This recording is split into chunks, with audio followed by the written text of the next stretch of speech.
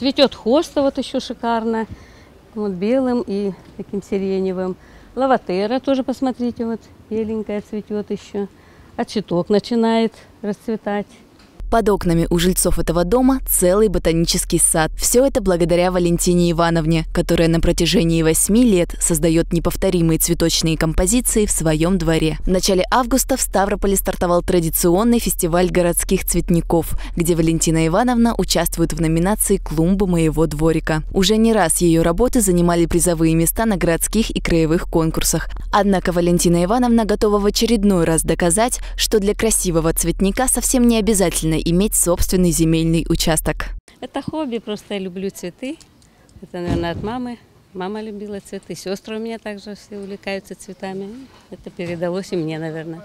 Дом следующей конкурсантки и вовсе не похож на другие многоквартирные дома. Своими руками Тамара Николаевна создала целую цветущую веранду, которая настолько поразила соседей, что они предложили ей принять участие в городском конкурсе. Однако для Тамары Николаевны победа в конкурсе не так важна. Главное – радость, которую она приносит людям, создавая вместе с мужем и детьми красоту на своей веранде. В 2005 году мы переехали из севера, с Архангельской области. А, сын нас сюда перетянул. И э, видя такую красоту, столько солнца здесь, э, столько цветов, которые тут можно выращивать. Ну, естественно, решили территорию облагородить.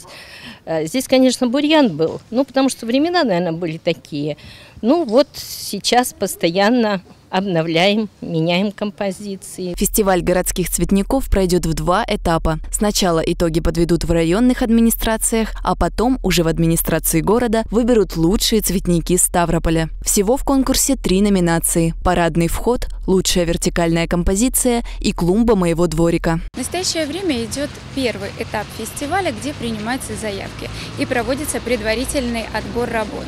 Жители Октябрьского района с удовольствием создают цветочные композиции разбивают клумбы на территориях своих частных домовладений, а также в многоквартирных домах. Не отстают и предприятия торговли и учреждения, которые тоже стараются соответствовать общему декоративному оформлению. Все призеры и победители конкурса будут награждены памятными кубками и ценными призами. Чтобы стать участником конкурса, необходимо подать заявку в администрацию своего района до сентября. Дарья Семеренко, Александр Власюк, АТВ Ставрополь.